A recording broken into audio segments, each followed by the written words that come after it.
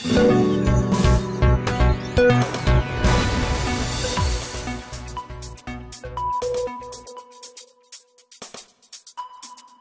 maken als Centrus Koppelmans Bouwgroep gebruik van uh, de, het woningbouwprogramma van de provincie Noord-Brabant. Uh, dit houdt in dat wij gebruik maken van een renteloze lening gedurende vijf jaar. En dat maakt het mogelijk dat wij binnenkort gaan starten met de bouw van 37 starterswoningen in deze wijk, het Ven te Veghel. Wij zijn in contact gekomen via de Brabantse Ontwikkelingsmaatschappij. Concreet houdt het in dat er onze lening is verstrekt.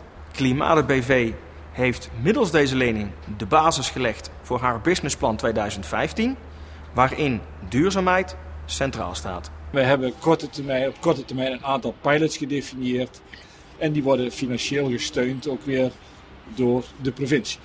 Nou, als we dan kijken naar duurzame mobiliteit, dan praten we over een nieuw stukje infrastructuur.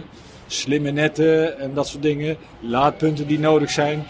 Wij gaan zorgen voor een toekomstvaste energieinfrastructuur voor onze klanten en voor onze bedrijven. Drukkerij Altorf heeft gebruik gemaakt van de maatregel uh, West-Brabant werkt door, een HRM-project, wat uh, door de provincie Noord-Brabant eigenlijk ons aan is geboden. Nou, dit houdt in dat wij ons personeelsbeleid goed onder de loep hebben kunnen nemen.